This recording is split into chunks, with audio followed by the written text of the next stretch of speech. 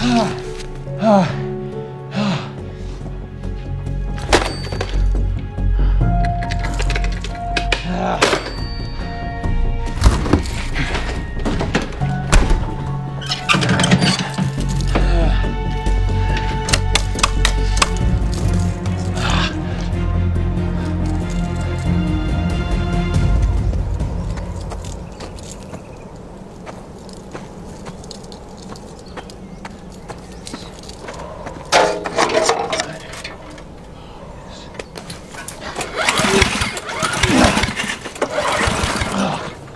The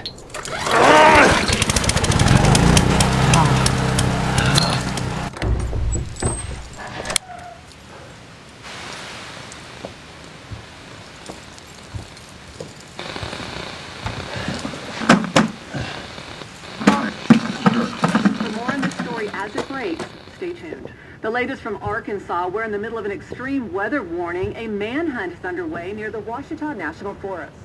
Marty Hammond fled authorities after allegedly causing a major accident on Route 70. Suspect has a previous DUI, we don't expect him to get too far.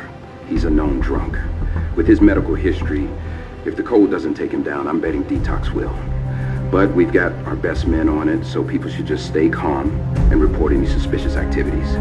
We're also taking volunteers to work our phone bank, so if you're interested, please contact the Glenwood YMCA and lend us a hand.